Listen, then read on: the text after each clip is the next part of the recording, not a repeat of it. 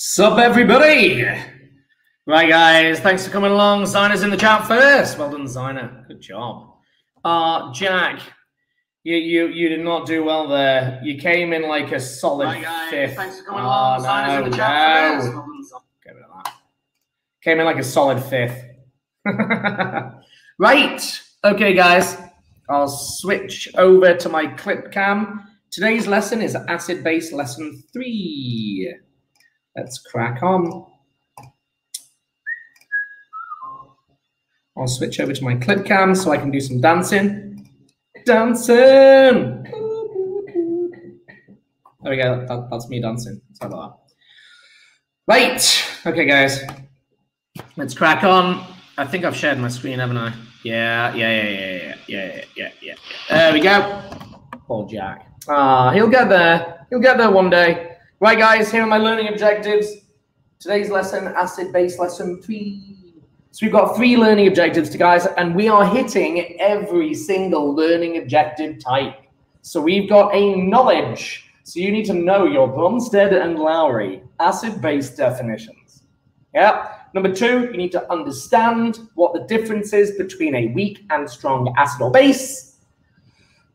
I once had it all. Ah, sad times, Jack.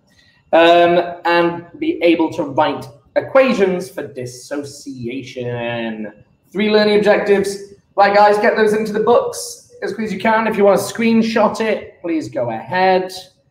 Um, I know that Jack likes a little bit of extra time to write my learning objectives. So I'll take them up to here. Right. So the first thing we chat about, guys, is Bronsted and Lowry. Bronsted. I don't think that's the right way round. And Lowry. Now these guys, these guys are the the kings of the acid base world. Hi, Sasha. Hi, sir. I just gave my unit in my unit two, it went good. It was much easier than the past paper questions.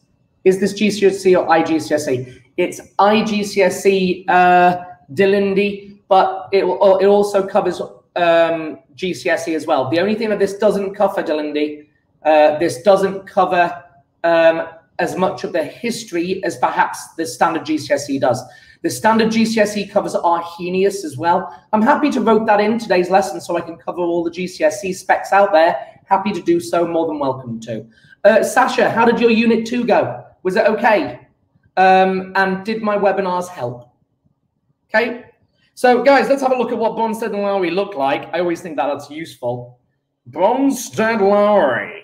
It's always good to see people's faces from history. Doing a bit of a history lesson here.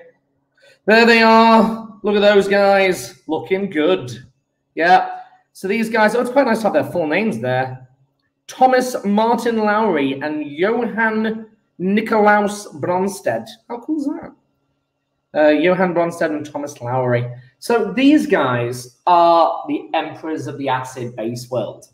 These guys, their theory is really the foundation of acid base calculations, acid base theory, uh, that's used today. There is an extra theory that you learn at A level, which is called Lewis acid-base theory, but GCSE doesn't cover it. We simply live in the Bronsted and Lowry world. Now, what these guys discovered, what these guys realized, so they realized, so the, the definition, the definition of dot, dot, dot, yeah, of an acid. First thing is, what did they say an acid was? An acid, a proton donor. Now, I need to explain what the proton bit of this is. And the proton bit is H plus. So the H plus ion, this is a nota bene, nota bene, nota bene, H plus is what makes an acid, what makes an acid an acid. That's a really weird part of English. That is what makes an acid an acid. Um, H plus. And H plus, just to go a little bit further, H plus is commonly referred to as a proton. This is because a hydrogen atom consists of one proton and going around it is one electron. That was a terrible circle. Ink to shapes. Circle, please. There we go. So, um, oh, nuts. It's doing so well then as well. Let's see if I can move that. Oh, it's gone. Let's try that again. There we go. And then move it. So it's in the. There we go. So what makes it, so this is a hydrogen atom. Well, H plus, H plus is just the proton. Yeah, it has lost its electron. Now, the reason why acids are corrosive is because of this. Because the hydrogen atoms desperately want electrons and they will take the electrons from whoever they can get their hands on, which is why it burns you. Because what happens is the acid comes in contact with particles like your skin, they remove the electrons from it, often forming hydrogen gas or water, and then it makes your, your molecules in your body become charged, which means they become soluble and you dissolve into a liquid. Rather gross. Um, but it's a really lovely definition. So a proton, H plus, is simply a proton. That there is just a proton. So now they then say that an acid is a proton donor. Now, what we need to do is we need to understand what that means in, in, in an equation. So here's what now happens. Imagine we have hydrochloric acid. This is HCl. Now, HCl, I'm actually going to not bother showing it with the sticks. I'm just going to go HCl. It's covalent in its nature. It's covalent bonding because it's all non-metals. Yeah, and what now happens is, if I now react that with a base like ammonia, what now happens is the proton gets transferred. Yeah, and I will form ammonium chloride. So what will happen is the proton will be switched. And what this is, the hydrochloric acid is donating, donating a proton. It's donating a proton. And ammonia is accepting a proton. Accepting a proton. It's it's getting it's gaining one. Yeah. And this leads us to the Bronsted-Lowry definitions that an acid, any acid, any acid is a proton donor. Yeah, it will give away protons in the form of H plus. So the generic equation could be HCl would give away H plus. Yeah, it's going to give it away to somebody else. Now, we're going to come across these equations later on. Now, just to cover a little bit more of the history of acid bases, there was a guy called Arrhenius, a very famous chemist. His name is Arrhenius. Now, Arrhenius, I've got to spell it with a double R. Arrhenius uh, is a very famous chemist because he was the first one to really investigate acids and bases. And what Arrhenius said is that when acids go into water, they break apart. Now, he said this. We can actually look this up. I think Arrhenius was about the 1870s, I believe. Let's have a quick check. Arrhenius. It's a bit sad, the history of Arrhenius. Um, when did he live? Svante Arrhenius. There you go. Born 1859 and died in 1927. Now, this was a bit of a sad story. What Arrhenius said is that an acid will break up, any acid, when placed in water, will break up into its ions. Now, this was a massive leap of faith. This is what Arrhenius said. He said when, when you've got a gas, when you put them into water, they break apart into their ions.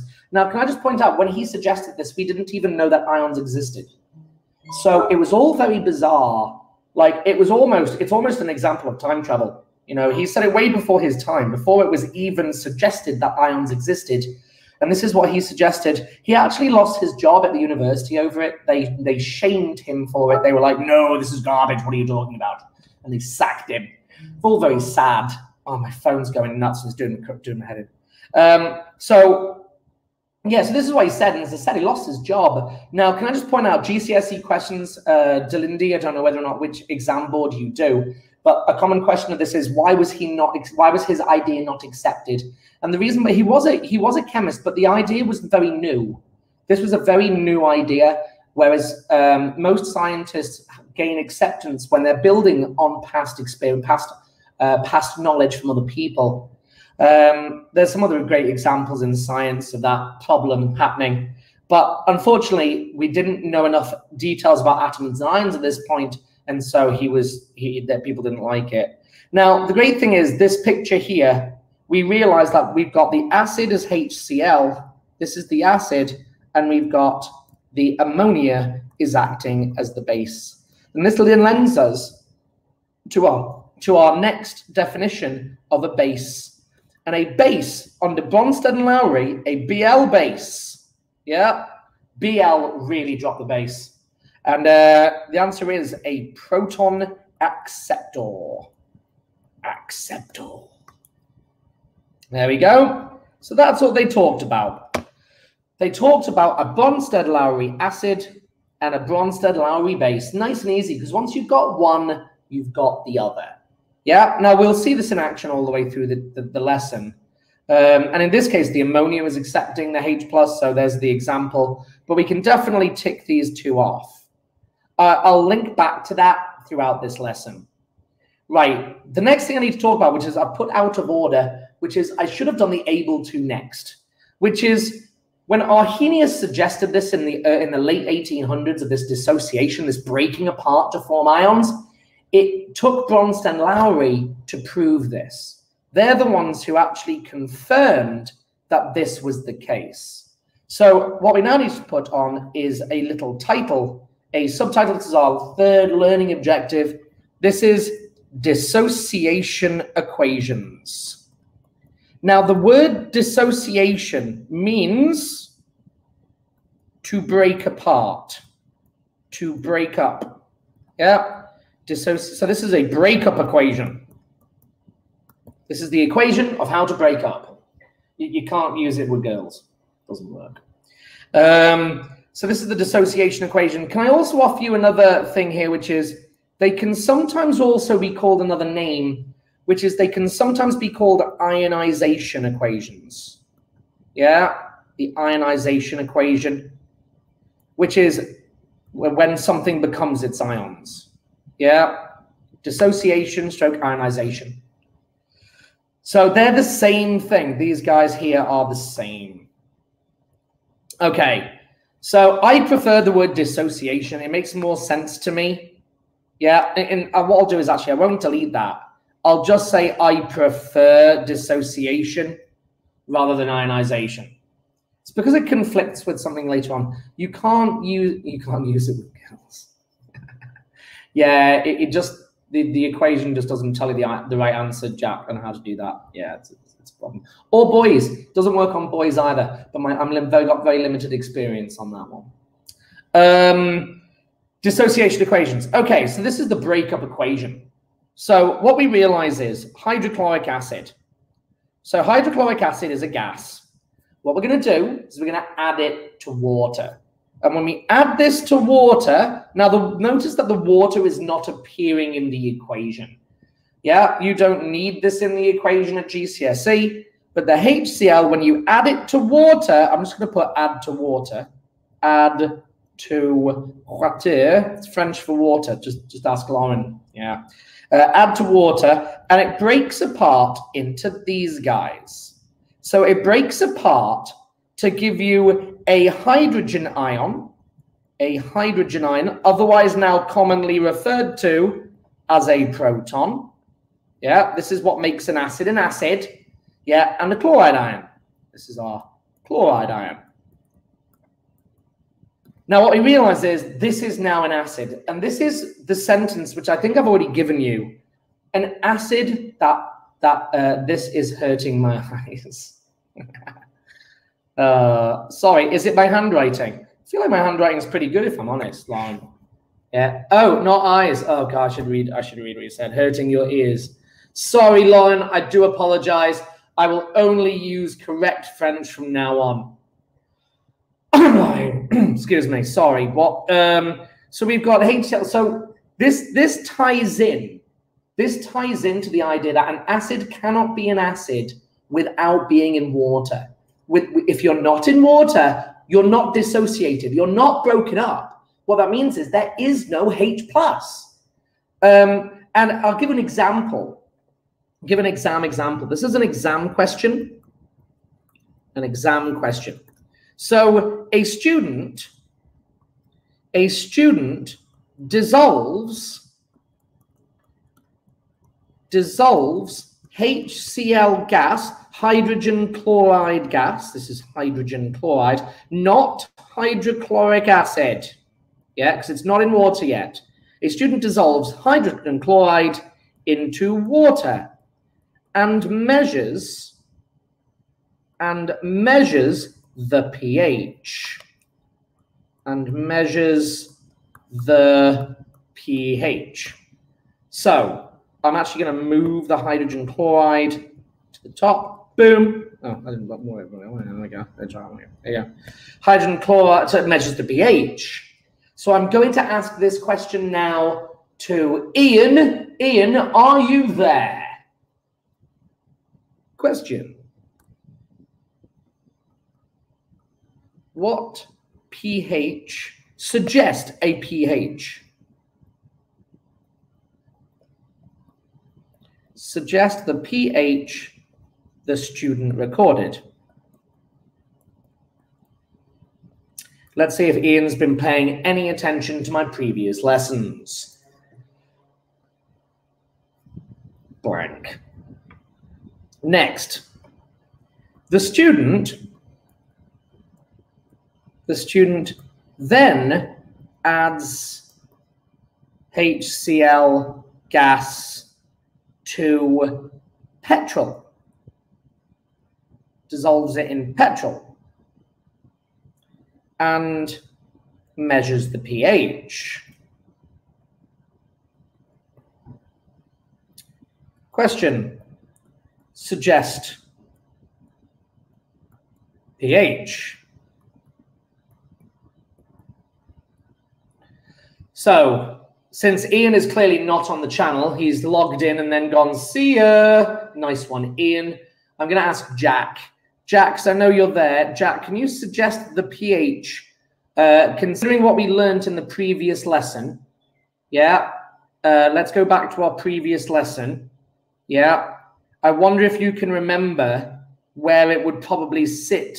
Oh, no, it was in lesson one on our indicators front. Where would hydrochloric acid sit in our indicators? Where do you think it would be, Jack? HCl and water.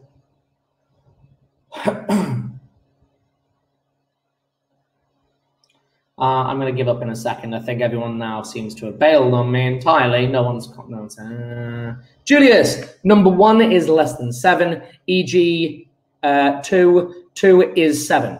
Okay, well, Julius, you're half right. Yeah, your first answer is tricky because you've said a good answer and a bad answer. So hydrochloric acid sits way down here in the strong acid area. Yeah, so you'd always quote any lab acid, yeah, any lab acid as pH 1. Yeah, so this one's going to be pH 1 and it would be red with universal indicator. So this is a nota bene. We're now picking up any lab acid. Let's list them. HCl, HNO3, H2SO4 would all be pH 1 and be red with universal indicator. Uh, does it not depend on the concentration? Julius, not really. Yes, but no. Uh, I will get to that. It's a bit more than you need at GCSE, Julius. It's a great question, I'm glad you asked that. But in general, even at low, like you only need 0. Point, you only need 0. Uh, God, 0.1 molar, 0.1 moles per dm cubed to be a pH of one. You know, that's really dilute. Yeah. Just to also mention, any weak acids, any weak acids, and these include vinegar. These include citric acid. Yeah, these include carbonic acid. They've all got pHs, give or take, around about the five, four to five mark. What do you mean when you say lab acids? Yeah, so these are all lab acids. You only find them in the lab, Zina. The only other, the only one that, only one that you'll find in in the house would be sulfuric, and that's inside batteries. And you don't really cut open a battery to get it. These are considered laboratory. You wouldn't see them anywhere else. Whereas vinegar, citric, and carbonic, you'll find these in the house. These are household acids. Household acids. And these are all weak. Yeah. pH 5, weak acids, indicator would be orange or yellow, either one. More likely to be orange than yellow in reality. So that's actually a really important thing to pick up. It technically comes from key stage three, comes from year seven. And I haven't mentioned that yet, so it's nice then to tie that in. Zina, thank you very much for asking. Julius is also correct that the pH does depend on concentration, but once you get very low, then it doesn't really change all that much. So try not to worry about it too much. So the next thing is the student had HCl to petrol. What's the pH? And the answer is seven. Yeah, the reason being is we know we know that the nota bene here, nota bene, pH seven is neutral. Yeah. And neutral means neither acidic or basic. Well, if you put acid into petrol, it ain't an acid because you cannot be an acid unless you're in water because they don't dissociate. So acids break up in water. pH is pH 7 is neutral since acids acids don't dissociate or ionize, depending whichever one you prefer. I prefer dissociate. Don't dissociate unless in water. So in petrol, you haven't got any H plus. There's no H plus because it hasn't broken apart. H plus is what makes, that's why another nota bene here, which we've already written down, pH has a capital H. The reason being it stands for the potential, the potential for hydrogen ions. It should actually be pH plus. Yeah, but they don't use the plus just because it looks silly to just say pH. And only because if you're teaching pH and you say pH plus, people are going to say, I don't understand why it's pH plus. And it's going to be adding in much more complications to a year seven lesson, so they don't bother.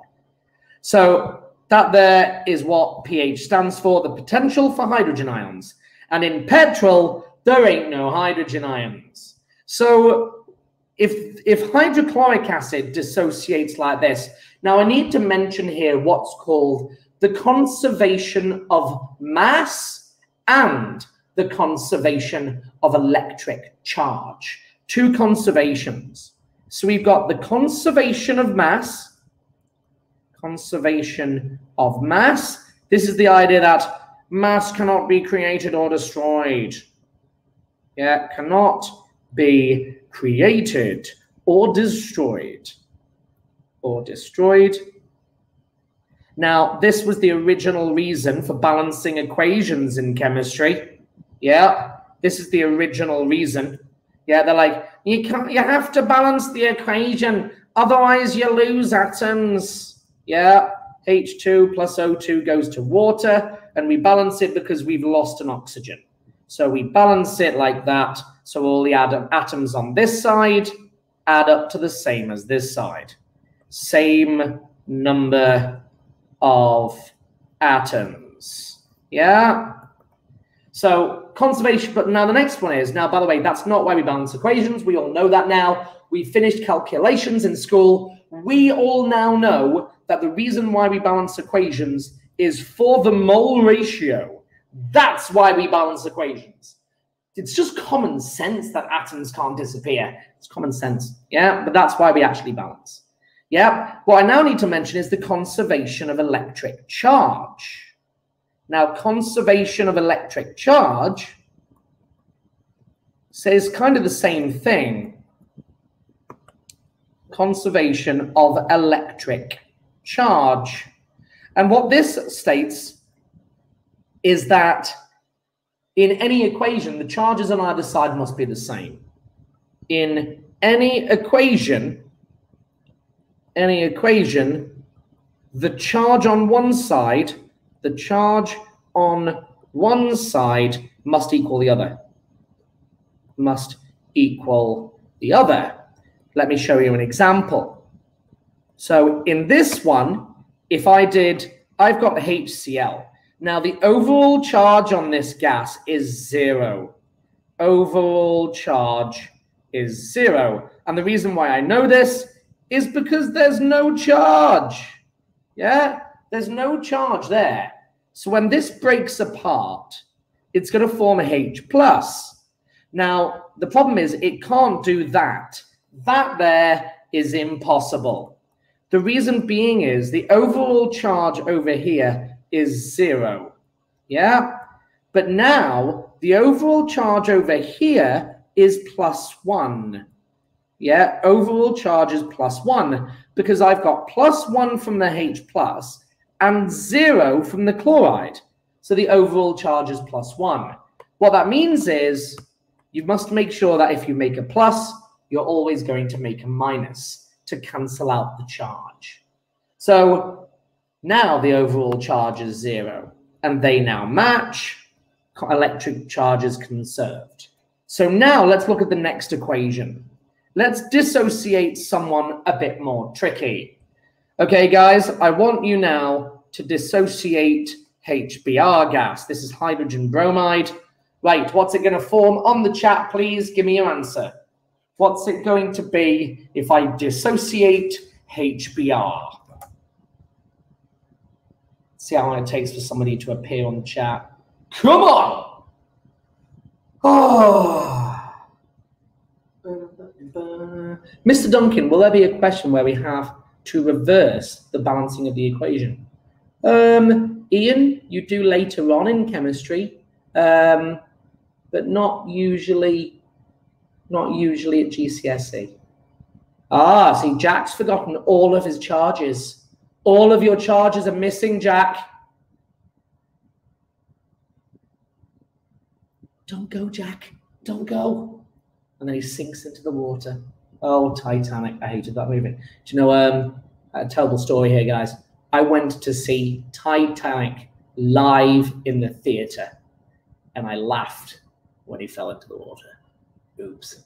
People were not very happy about this. I was just like, come on, it's the Titanic. Stop making it into a love story. Jeez. Oh. Well done to all those people in the chat. Good job. So we've got H plus aqueous and Br minus aqueous. And there is hydrobromic acid. I like it. Let's go for the next one. Let's make it more tricky. What about that guy? This is now nitric acid. So what's this going to be? Stretch and challenge, guys. Somebody impress me. Come on. Let's make a Titanic comedy. Oh god, I think we'd get shot, but it'd be hilarious. Jack, I'd be well up for that. It'd be amazing. Can we just have you standing on the front of a boat, Jack? We'll, we'll, we'll spike your hair up and make it go all flowy. Yeah, it'd be amazing. Brilliant. Oh no, we need to find someone called Rose. My name's Rose Dawson. Oh god, it's so bad. Oh god, it's so bad. Oh. Hey, Julius is on it. Julius, I'm going to accept your answer. Well done. Yeah, it's good. Oh, no, Lauren's gone mad with her two minus. Masaru, well done. Lauren's retracted it. Love it. Well done, Zina. Well, we all need, well, all we need is a awkward love triangle and a murder. Oh, it's getting dark. It's getting really dark. So we, we, we just get a flower for Rose. Oh, I love you guys. Yeah, that'd be amazing. So the answer is going to be H plus, aqueous. So therefore, it's an acid. Yeah. And we're going to form NO3 1 minus. And this is our nitrate ion. Yeah, nitrate ion, which just floats around doing nothing. Doesn't do anything. Well done, Tanisha. Well done, Ian. Well done, Callista. Well done, Zina. Well done, Masaru. Well done, Julius. I like it. Yeah. Okay. All right, guys. Since you guys are like, I got this. Boom. Bruh, bruh. Oh, I'm so cool. I'm so cool. Sorry, I suddenly realized I'm live on YouTube. So cool. Bruh. Uh, so try this one on for size. Sulfuric acid. Boom. Give that a go. Come on. Sulfuric with an F, with an F. Sulfuric acid. Go for it.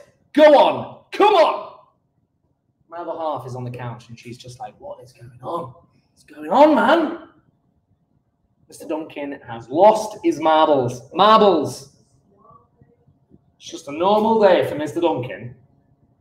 Come on, guys. Impress me. Come on. You impressed me with the nitric acid, by the way. I'm very impressed. Most of the time, everyone gets it wrong. just so you know. Um, but it's really nice that you got. I think I must be doing something right today. Nice. Come on, guys. Who's going to be first on the chat? Come on. Come on. Who's going to be first? Come on. I don't want to give you the answer. Oh, good effort, Jack. Oh, Lauren. Balance your equation, Lauren. You're so close. Callista hasn't balanced either. Jack tried to balance, but then didn't balance, and his sulfate ion is wrong. Well done. Zina's forgotten to balance. Owen's definitely got it wrong with his H weird thing. Uh, Ian's got you so close, guys. Think about the electric charge. Loads of people have got good stuff there. Zina, you're the closest. oh, Masaru, you're so close. So close. You can't have H2 plus. It doesn't have two protons. Oh, you're so close. So we're going to get two H pluses and SO4 2 minus. So close, guys. It's not too bad. Oh, there! Callista, well done. You start. Commendation to you. Heck, have three. That was really well done. Good job. Oh, Julius got it right as well. Julius, well done. Samir, well done. Good job, Samir. Well done. Good job, guys. These are aqueous. So what this means is that if you had just just to I got it. Well done, Callista. Good job. Well done to those people who got that. I'm very impressed. Well done. So just to point out, by the way, that sulfuric acid gives off twice as many H pluses, which means if you wanted to have hydrochloric acid or nitric acid be the same pH as sulfuric, you'd have to have double the concentration. How cool is that? That's cool, right? That's cool. Sorry, it's not cool. Thought it was cool. Uh, okay. Um, ah, right. So I've got a new a new contender here in class called Samir. So nice to have you here, Samir. Now, Samir, since you're here and you just gave me a great answer, I'm going to push my class just a little bit further and see if you already know this. Try this one out for size. This one is vinegar. What would the dissociation of this one look like? Off you go, year 10. Can anyone figure that out? Now, I have given you some hints towards this in previous lessons. Yeah, do you remember I went, if I go back to the previous lesson, yeah, I showed you this. Look. And I said that that H there is special. Who can give me the equation, please? for vinegar. And I'm going to have a whole load of questions appear in a second, which is good. Yeah. What's the outcome of this one? Come on, Samir. I want to see if Samir can beat my class. Sorry, class, beat Samir. Come on, get in there first. Come on. Can you believe this? My lesson's nearly over. We're doing the dissociation equations. Uh, we haven't done strong or weak understanding yet. Oh, Sorry, I don't know. Callista, well done. Owen's gone mad. Callista's nailed it. Callista, another commendation for you. Well done. Zina, another commendation. So, Samir, just to explain, vinegar, we realize that we know that this is called ethanoic acid, and this is commonly known as vinegar. And we know that vinegar is an acid. This is ethanoic acid, and it is commonly known as vinegar. We know this is this is an acid. What that means is we must be getting H plus from somewhere. We must be getting this because this is what an acid should be. Ah, oh, Samir, don't be sad. You, it's the first time I've seen you. It's lovely to have you contributing on my chat and keeping my year 10s on their toes. Keep doing it. Don't give me any more sad faces. No, there's no bad answers in chemistry. You're doing great. So we're going to, what's going to happen is we're going to have to create H plus because it's an acid. We know that because it's called vinegar, because we know it's an acid. So the question is, what's the other half? And this is the H that's special. That's the H that's special. It's going to break away. And what I'm going to be left with is CH3COO minus. Well done to those people. This is called the ethanoate ion. Ethanoate ion. So well done to those people. You're more than welcome, Samir. Please keep keep coming to my lessons. It's a pleasure having you, and it's nice to see that I can do anything in terms of helping you learn chemistry. Keep coming. Okay, so just to show you what this looks like as a picture, folks, because I've already done the picture, I'm halfway there. So what would this look like as an image? It would look like this. I would literally have the H plus break off, and I end up with H plus and this guy. That's what happens right there. So it dissociates, it breaks apart in water. So my next big question, let's see who can give me the answer on the chat. What does this arrow here tell me about this reaction? Come on, first person on the chat. Come on. What's that arrow mean? Come on, Samir, you can get in on this one. I know you can. What does this arrow here mean? Come on, come on. Reversible reaction. Nailed it. Good job, Samir. You're in before my year 10s. Well done. You're doing great. So it means it's reversible. This is a reversible reaction. Reversible reaction. Now, what this means, well done. Well done, Samir. Well done, Julius. Well done, Callista. Well done, Jack. Well done, Zino. Well done, Owen. Great job. This reaction's reversible. Now, what this means is, guys, that that Ian has tried to respell it properly and then spelt it wrong again. No, he hasn't put it in yet. Oh, I don't know. Uh, why did you say sorry for the caps? Oh, sorry, Zino apologizing. Lol. So this means the reaction's reversible. Now, what this means is that it's now a weak acid. It is not fully ionized. And this is the end of my lesson. We've only got 10 minutes left. So now that we've had a go at doing some of these really cool dissociation equations, uh, I'm tempted to give you one more, but I shouldn't do. 10 minutes left. I need to finish my learning objectives. Right. Strong. Yeah. Brackets, Mr. Dunkin. Yeah. Oh, I need to put Dunkin. Mr. Dunkin versus weak. Hmm. Hmm. Hmm. Everyone knows. It's going to be Ian. It's going to be Ian, right? It's going to be Ian. Yeah, yeah, for sure. I'm only messing with you, Ian. I'm only messing with you. so strong versus weak. So I'm weak. All right. Ian, Jack's volunteered. We're in. I like it. Jack, amazing. so Okay, guys. So what does this? So you guys got taught in year seven. You guys got taught acid base theory, and you learned about these weak acids and weak bases. So um, weak, weak, and strong acids. And then I go to my images, and I go to let's do. Oh no, I don't want that. I want the pH scale. Yeah, let's go to the pH scale.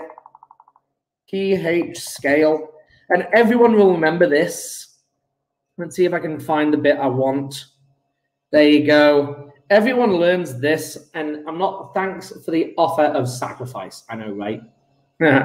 so everyone remembers this that the pH is what tells us if something is strong or weak. This is not true. I'm so sorry, year 10. We did fib to you. It's a tiny little fib, little tiny white lie.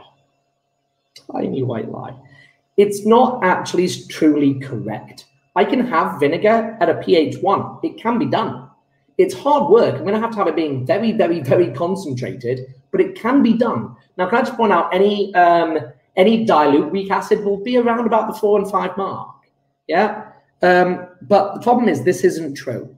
What we need to realize is what's actually happening. So here's what's happening. So a strong acid, notice I'm switching to red. A strong acid, a strong acid fully underline, fully, I don't know if I've done so many times. Fully, is that fully dissociates, dissociates in water. Let me show you what that means. It means this. Imagine a beaker. Imagine a beaker with water in it. And I'm going to take these HCl molecules, one, two, three, four, five, six. I'm going to take these six molecules and I'm going to put them all into water. I'm going to dump them all into the water. Now, what happens is I'm going to get full dissociation every single one of them will fall apart. All of them without any without any problems. Every single one of them will fall apart. It is described as fully dissociated. Fully dissociated. However, a weak acid, which I'm now going to switch my color for yellow a weak acid. A weak acid brackets um, any organic acid, any oic acid, ethanoic, I'm going to put organic acid, any organic, see later notes for organic acids.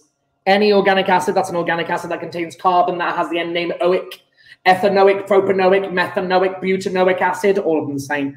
A weak acid is partially is partially dissociated in water. Let me show you what this means. Dissociated in water. pH around about four, four slash five, and um, will be orange on the pH scale. So if I now take ethanoic acid, if I now take ethanoic acid, I'm going to do six of them. Going to do six. I know, coo, all coos are carboxylic acids. I'm going to take six, getting there. There's five ethanoics, six ethanoics. Right. We're going to put them all into water. Boom, boom, boom, boom. I'm going to put them all into water. And here's what I now have. Here's my first ethanoic acid, not dissociated. Here's my second ethanoic acid, not dissociated. Here's my third ethanoic acid, not dissociated. Here's my fourth ethanoic acid, not dissociated. Here's my fifth ethanoic acid, not dissociate. And here's my sixth ethanoic acid, which is dissociated, which is what makes vinegar weak. If it wasn't, you'd drink it and it would, okay, not that people drink vinegar, you put it on your food, your fish and chips, you know, it, otherwise it would burn you. But because it only does one at a time, can I just point out, if you want a real number, a real number, one in 50,000 dissociate. One in 50,000? That's very weak. Very weak. So these are the definitions that I need you guys to learn. Strong acid, fully ionized, fully dissociated. Weak, partially ionized, partially dissociated. Whichever one you wanted to use, I prefer dissociated because it tells me that it's breaking apart. Ionized doesn't tells me it's becoming ions, but I don't like that. It doesn't really tell me the breaking up of it. Yeah, so fully dissociated, strong, partially dissociated, weak. So it's kind of cool that, that you then understand what's going on with these and how we start to categorize them. That brings me to the end of my lesson today. Let's check my learning objectives. Number one, understand strong and weak. Done and done. See what I've done there? I've got the, the weak tick and the strong tick. Yeah, moving on. Write equations for the dissociation. We can indeed do that. We've ticked all of our learning objectives today. So I will post your homework on the classroom. But guys, that brings me to the end of my lesson today. I will end it there. Let's go back to here. Stop share screen. Switch to front view camera bring it back up, and we're good to go. Right, guys, I hope you found it useful today. Can I say a big shout out to Samir? Thank you so much for coming along to the lesson. It was nice to have you here. Uh, otherwise, year 10s, thank you very much for, for coming today. I hope you have a nice rest of your week and online teaching. Don't forget, your homework is due Tuesday. I'll be going through that homework sheet um, I'll be going through that homework sheet on Tuesday at the start of the lesson, and I will do it on YouTube, so you can always go back and check it. Uh, Samir, if you'd like, um, if you'd like uh, the homework sheet that I've given my year 10s, you're more than welcome to. Um, guys, have a nice rest of your day. See you later, everybody.